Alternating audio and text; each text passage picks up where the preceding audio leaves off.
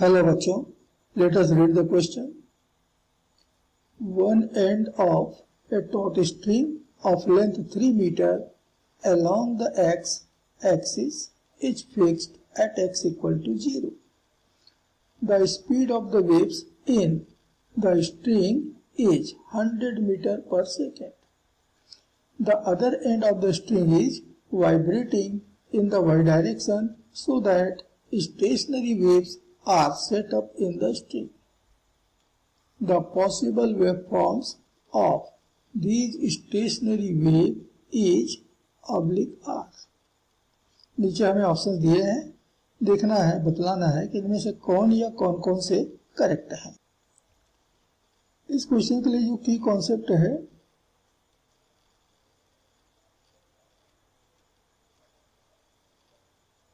वह है the standard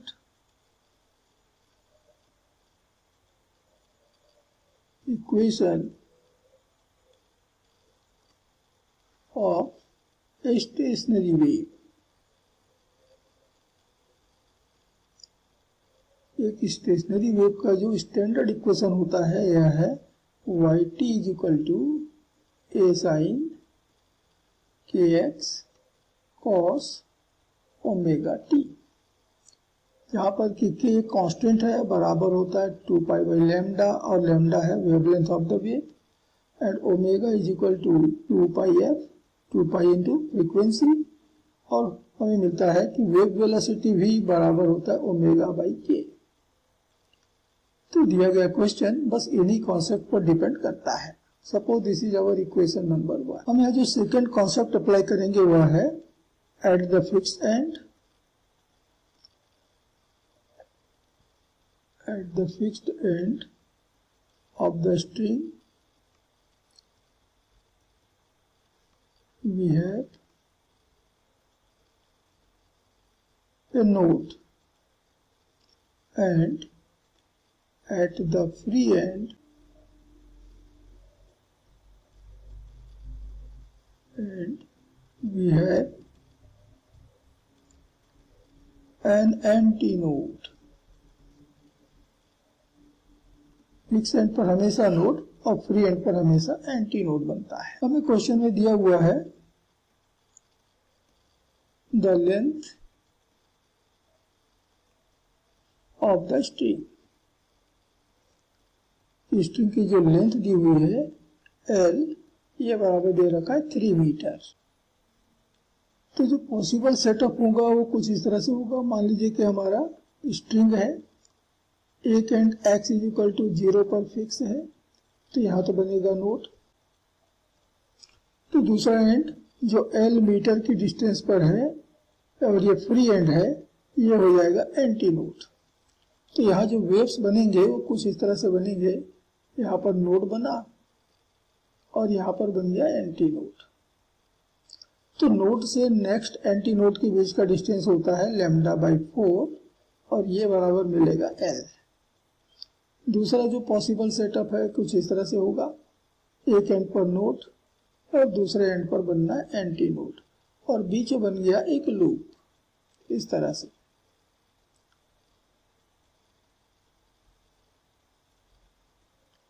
मतलब बीच में एक नोड आ गया और एक एंटी नोड भी आ गया।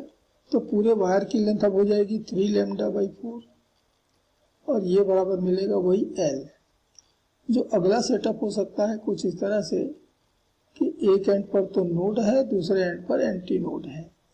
और इन दोनों के बीच में हमको दो लूप बनते हुए दिखेंगे ऐसा।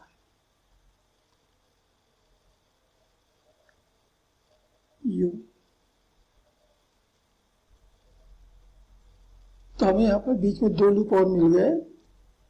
इसलिए दो एंटी नोड और दो नोड एक्स्ट्रा बन गए। तो पूरे वायर की लेंथ आप काउंट कीजिए। नोड से antinode lambda by four है तो ऐसे कितनी बार हम जा रहे हैं तो ये हो जाएगा five lambda by four is equal to L. And therefore the string length हमारी जो स्ट्रिंग है, उसका जो लेंथ है एल ये बराबर हम दे सकते हैं two N plus one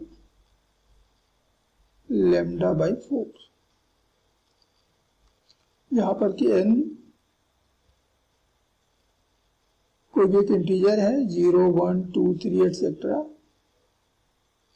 तो यहाँ से हमको लेमडा की वैल्यू मिल रही है लेमडा की वैल्यू मिल रही है four L upon two N plus one ये लेमडा की वैल्यू मिल गई और देयरफॉर के which is equal to 2 pi by lambda, so it is 2 pi by 4l into 2n plus 1 तो हमको मिल गया 2n plus 1 पाई और मैं यहाँ पर अब l की वैल्यू भी रख दे रहा हूँ। देखो यहाँ से टू से कैंसिल किया तो टू और two into L means two into three तो हो गया सिक्स इतना हो गया के की value it is our equation two और हमने कहा ओमेगा बाई के ये बराबर होता है V so omega is equal to V into K तो वी की वैल्यू तो 100 मीटर पर सेकेंड दिया क्वेश्चन में। और के अभी हमने कैलकुलेट किया two N plus one pi by six तो टू से कैंसिल किया ऊपर नीचे तो आगे इस तरह से 50 और थ्री तो तो हमको ओमेगा की वैल्यू यहाँ से मिल गई। N plus one into fifty pi upon three और ओमेगा और के की वैल्यू मालूम है तो हम अपने वेव इक्वेशन या वेव का जो स्टैंडर्ड इक्वेशन है, यहाँ से मालूम कर सकते by putting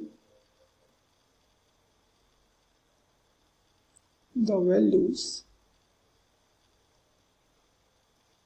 from equations 2 and 3 in equation 1 तुमको वेव इक्वेशन मिल रहा है Y T is equal to A sine K तो के की वैल्यू देखिए कितना मिला है। तो के की वैल्यू मिला है two N plus one pi by six two N plus one pi by six ये के की वैल्यू हो गई इंटू एक्स कॉस ओमेगा और ओमेगा की वैल्यू देखिए कितनी मिली है तो two N plus one fifty pi by three two N plus one fifty pi by three into T अब हम एन की डिफरेंट वैल्यूज़ के साथ में हमें इक्वेशन के डिफरेंट फॉर्म क्या क्या मिल सकते हैं, देखें। तो number one when N is equal to 0 the wave equation yt will be equal to a sin. N की वैल्यू ज़ीरो रखते चलिए तो मिल गया pi X upon six cos N की वैल्यू ज़ीरो है तो बन गया fifty pi T upon three ऐसे ही when N is equal to one तो वाई टी ये बराबर मिलेगा ए साइन अब इनकी वैल्यू वन रखेंगे तो ऊपर आ गया three by six means two तो pi by two X pi by या pi X upon two cos यहाँ भी हम एन की वैल्यू रखेंगे वन तो आ गया थ्री बाई थ्री तो कैंसल हो गया फिफ्टी पाई टी फिर हम रख लेते हैं एन की वैल्यू टू एन की वैल्यू टू तो वेव इक्वेशन हमको मिल जाएगा Y T is equal to A sine अब टू रखें तो हो गया five pi by six X five pi X upon six cos five into fifty two fifty pi T upon three फिर नेक्स्ट हम एन की वैल्यू रख सकते हैं थ्री तो Y T is equal to A sine हमने three रखा तो हो गया ऊपर seven pi X upon six cos और सेवन से मल्टीप्लाई किया तो हो जाएगा three fifty pi T upon three तो इस तरह से हमको डिफरेंट इक्वेशंस मिलेंगे। तो देखें इन इक्वेशंस में से कौन कौन सा इक्वेशन हमारे ऑप्शंस के साथ में मैच कर रहे हैं? तो हम देख रहे हैं हमारा पहला ऑप्शन तो मैच कर रहा है, पहला इक्वेशन है, ये थ्री मिसप्रिंट है। तो पहला ऑप्शन यहाँ पर करेक्ट हुआ। है सेकेंड ऑप्शन इस तरह का कोई क्वेश्चन हमको नहीं मिला है, गलत। हाँ सी ये भी ऑप्शन हमारा करेक्ट है। एक इक्वेशन ये भी मिला है, जब हमने एन की वैल्यू रखा था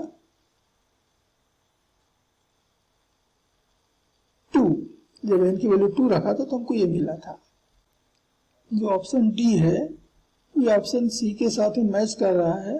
साइन और कोसाइन दोनों का जो एंगल है, वो सी के एंगल से थ्री टाइम ज़्यादा है। तो ये इक्वेशन हमको मिल सकता है। एन की वैल्यू सेवन रखने पर। चलिए देखते हैं। देखिए एन की वैल्यू मैंने सेवन रखा।